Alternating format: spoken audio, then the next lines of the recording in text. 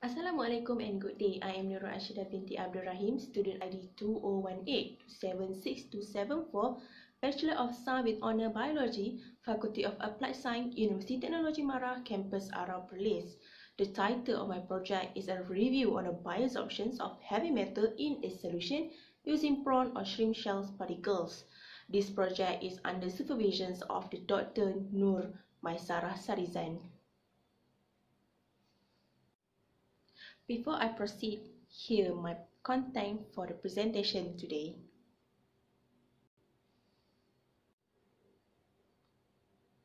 Let's begin with chapter 1, which is the introduction. Environmental challenges have increased due to the growth of industrial world. Polluted water does not only contaminate with trash, sewage, oils, radioactive substance, and pathogenic microorganisms, but also with heavy metals. Polluted water with heavy metals could harm many organisms, including humans, since water is the main source of uh, for life.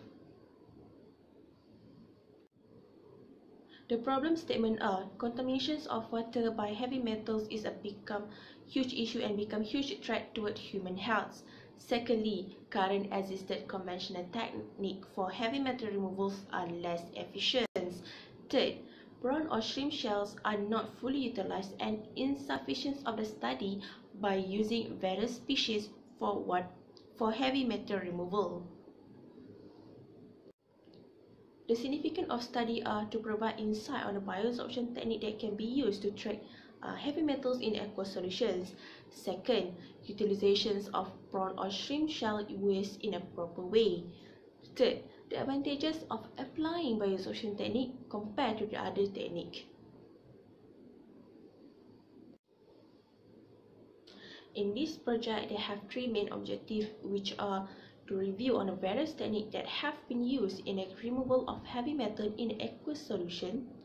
Second, to review on the removal of various types of heavy metals from solution by prawn or shrimp shell particles. And the third one is to compile and list out all of the exper experiment and biosorption conditions uh, that we're using a prawn or shrimp shell to remove the various heavy metals. In this review, the research questions are First, how does bioabsorption using prawn and shrimp shells are capable in heavy metals removal from A solutions? Second, why using prawn and shrimp shells to remove heavy metals instead of other biomass waste? Third, why bioabsorption is the most effective method compared to existing conventional methods in heavy metal removal from solution?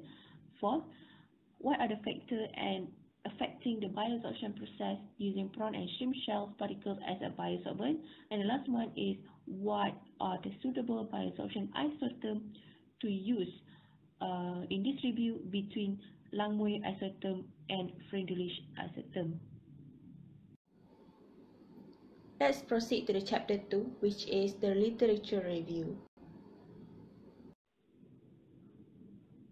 The first element in the literature review is the water pollution. Heavy metals are among of the pollutants that contaminate the environment specifically towards the water system. Uh, this is because uh, water is essential for humans for daily use, uh, such as for drinking, food production, recreational, recreational activities, uh, industrial, agriculture and aquaculture activities. So according to Ali et al. 2019, they have two main sources that can lead to the water pollution, which are uh, natural and anthropogenic sources. The second element of the literature review is the heavy metal toxicity. Heavy metal is described as the one of the most important elements that consider uh, exist in the very low concentration in water and sediments. However, uh, somehow most of the heavy metal could uh, potentially become toxic and give a threat towards living organisms if uh, the concentration reach above the certain threshold level. Uh, the secondly is the heavy metals such as lead, cadmium, chromium, copper, and arsenic are often considered stable, toxic, and bio and non-biodegradable, as well as the carcinogenic, uh, according to the Mitra et al. 2017. So the third element is the limitation of the conventional technique. Uh, the first technique is the chemical precipitation. This is a technique that utilizes a chemical agent to react with the heavy metals ion to forming insoluble solid precipitate. Then, the precipitate will be removed from the solution by the sediment or the filtration, according to the Malik et al. 2017. Uh, the limitations of the chemical precipitation is uh, it will use a large amount of chemical in the treatment. Second, uh, the huge amount of low density sludge will produce by hydroxide precipitation. Uh, the second uh, technique is the ion exchange, which is a reversible exchange of ions between a solid and liquid. This is according to Dong et al. 2019. The limitation is it's not all the ion exchange resin is ideal for the metal removal, and this procedure is quite uh, uh, costly. The third technique is a flotation, is where a gravity separation is associated with the removal of the surface inactive ion from aqueous solution through surfactant or collectors. Uh, the limitation is this technique could produce a large amount of sludge similar to the chemical precipitation and make it uh, difficult to recycle the waste metals according to Dilayani et al. 2017. The fourth element of the literature review is the biosorption. Biosorption is the ability of the biological material to accumulate heavy metal from the wastewater via metabolically mediated or spontaneous physical chemical pathway according to the Shahmin 2016. Uh, this method could Um, used in to treat wide treatment area with a high biosorption capacity and do not cause any secondary type pollution. This is according to the Lu at all 2020. In addition, the functional groups of the biosorbent using in this process may interact with the metal ions, which helping the metal ion absorption. The next element is prawn and shrimp shell as biosorbent. The shell particles predominantly contain 33 to 40% of protein, 70 to 20% of chitin, 34% ash, according to Adaye et al. 2016. The second largest biopolymer in the world from a renewable organic material is chitin. So the chitin also classified as biodegradable and biocompatibility elements with good properties for heavy metal removal, according to Anastopoulos et al. 2017.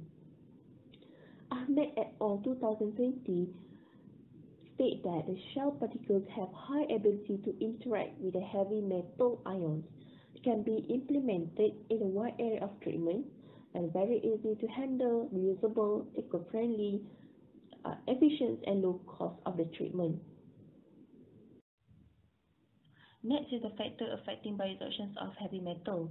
Uh, pH, temperature, initial metal concentrations, and the absorbent dosage are very important factor that affecting the maximum absorption capacity of the bioabsorption of the um, the biosorbent. Last element of the literature review is the bioabsorption isotherm. Biosorption, biosorption isotherm is the expresses the relation between the concentration of adsorbate at the equilibrium in the liquid phase and the equilibrium adsorption amount in the solid phase at a certain temperature according to the Tadros 2013. The Langmuir model isotherm is the empirical model that presents the equilibrium distribution uh, metal ions between liquid and solid phase.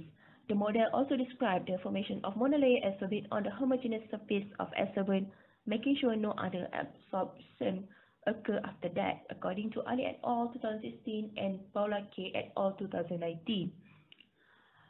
Meanwhile, the Freundlich uh, model isotherm described the adsorption process of heavy metal ions occurring on the heterogeneous surface and active site of adsorbent, whereby the adsorption occur with a different energy based on multilayer adsorption and equilibrium according to the Balake et al. 2019. Chapter 3 Conclusion and Recommendation For the conclusion, uh, in this era, water is significantly important towards human daily life. Heavy metal in water may become a threat toward human health.